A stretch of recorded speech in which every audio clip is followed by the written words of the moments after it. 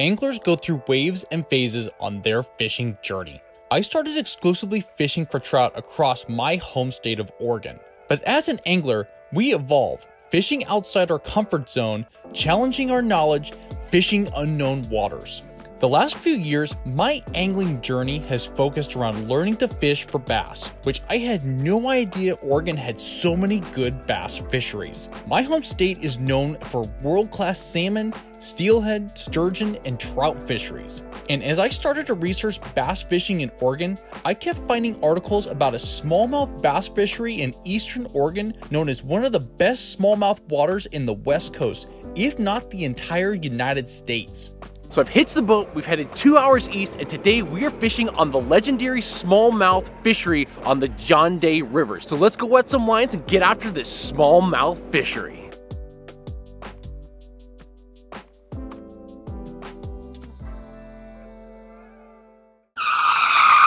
Yeah, so technical difficulties. Now, I get home from an amazing trip on the John Day River and I'm going through the content and lo and behold, there's no sound on any of the content that we filmed for this trip. It all sounds like this. So it turns out that the adapter that plugs into the GoPro that my lapel mic attaches to decided to just yeet itself and stop working and being of existence. So for the whole trip, I thought I was filming, had quality audio for the video on my chest cam that I was wearing for this John Day fishing trip. Turns out I didn't get any of the good audio. So yeah, super frustrating, but for the first part of this video, I'm gonna be doing a voiceover for the segment and first part of the day that we fished. Now, not ideal, but I wanted to share this with you guys at the start of this video because when we're out filmmaking and when we're creating videos, stuff can happen that's out of our control and sometimes in technology, it just freaking breaks. Sometimes it just doesn't go your way. Sometimes you have some shenanigans that goes on and some days it's just technical difficulties that end up just being the pain in your behind. So let's get back to the big bite action on this trip on the John Day River.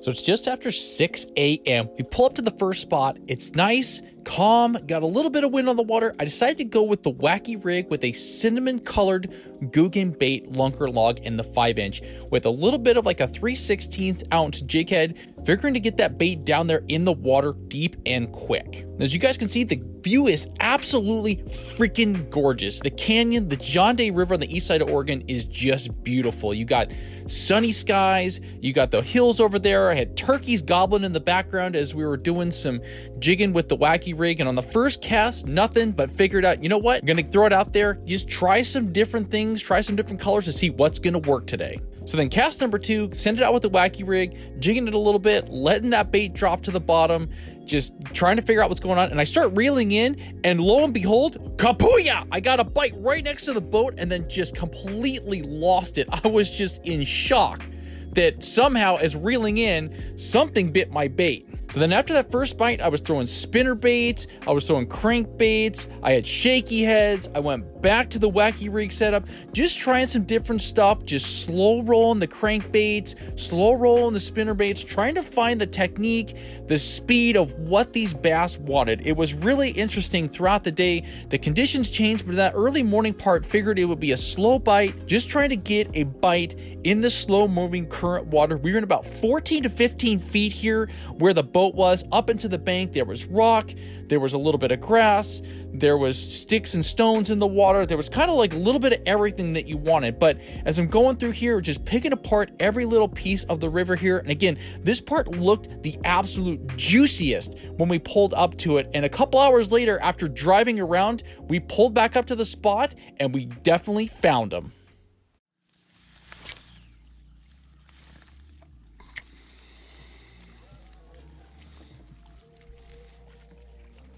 You going? You on? Finally got one, huh? Is it a good one? Decent. Oh yeah, that's a decent one. Finally our first fish of the day. There it is. You want a nut nut job? On. Hit it twice. Hang on, I gotta put this down for a second.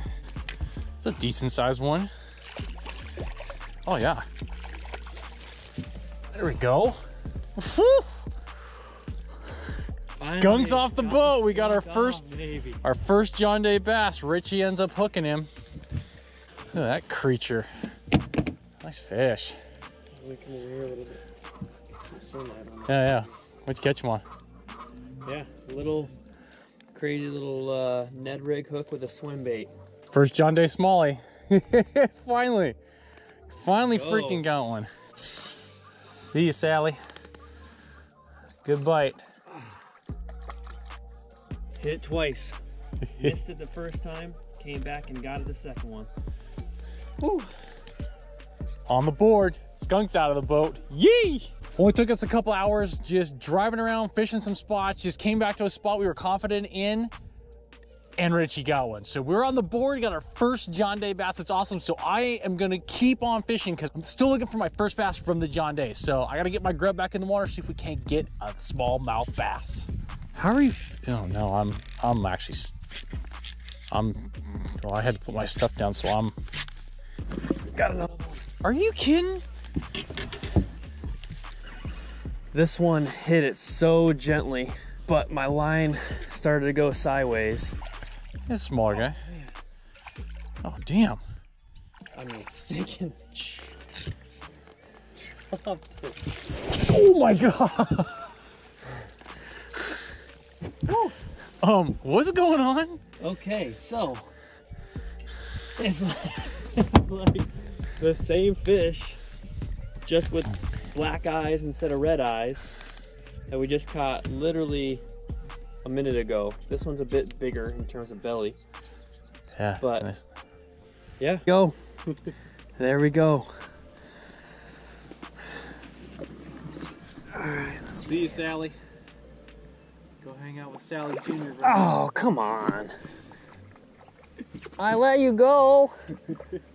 Both of them will. I caught along the, the rocky edge right there. I think we need to get a rock. Right where we saw that pot of fish on the graph, huh? This grub doesn't have any action on it.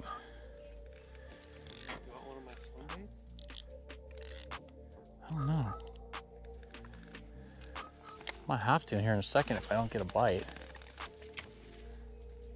I'm coming to your left. I mean, I don't know. I just threw. I mean, throwing it out there. I threw right where you just were. Because this little grub I have is not really doing it. Unless I should get a pink head or something. I don't know.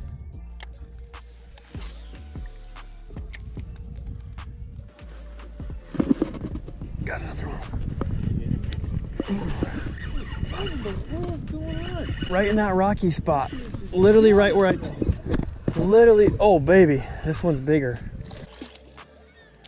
Got a chungus? I mean, it's definitely bigger. Richie's absolutely destroying today. Oh, that is a large. Oh, what is up? Yeah. This net is There heavy. What in the What we like world? see here out on the John Day River, baby. Oh There my go. gosh. Look at the size of that fish. That is a chungus. Yeah. That's what we came looking for. Dude, Holy crap. Got nice. been chilling. see some sun? Oh, is she gonna lock in at 28 291? About 288. Dude, that's a chungus. Nicely done. 288. There we go. All right, Billy, back you go.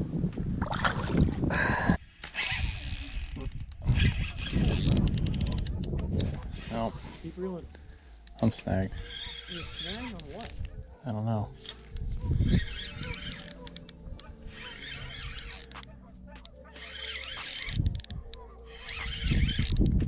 I don't know. It's up fighting back like a fish, so it's a stick. A stick fish. Stick fish. Yeah, um you hear my reel? I that's yeah.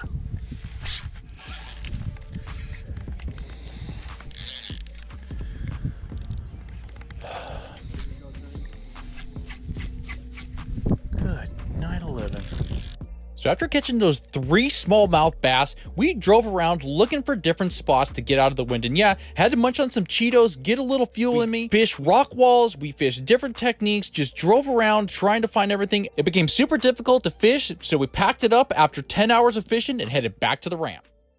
Well, guys, if I had to describe in one word today's experience, it's humble pie. And yeah, if you guys can hear from the wind in the microphone, it is absolutely howling out here on the river. And you know what? It was still an awesome day. Even though I didn't get a fish into the boat, I got a bite right away. Richie got three really nice smallmouth, and those are really good size. And for this time of the year, that's what we're going for on the John Day River. That's what we were chasing. And I hope anytime you guys are in Oregon, you get a boat or get out with a guide or just get out here to the river, that you can enjoy the John Day as well. It's one of the most elegant, most beautiful rivers in Oregon and has a ton of smallmouth year round that you guys can catch. Today wasn't about getting 20, 30 bites. We were just going to explore a new river. We're fishing a new place I had never fished before. And sometimes that's just part of the experience. And you know what? Showcasing that we didn't catch 20 fish, that it was a struggle. I went 10 hours today, only got one bite, and that's what I love about this channel. We can be authentic. We can show you guys that it's not all about just catching 10 fish every single time on every single video. That's not what I want to do. I want to show the goods, the bads, the uglies, and the what nots to do, and the what to do and what to do on this channel. So I hope you guys enjoyed today's John Day bass fishing adventure. This is not going to be the last time we hit the John Day. Richie and I have got other plans to get back on the river here, go explore some new areas, and hopefully we land on some big bites and can show you guys the best of what this amazing river in Oregon has to offer. So thank you guys for watching today's episode. Hit the thumbs up, hit the subscribe button down below, and as always, you guys, the outdoors is a gift. Share it with others.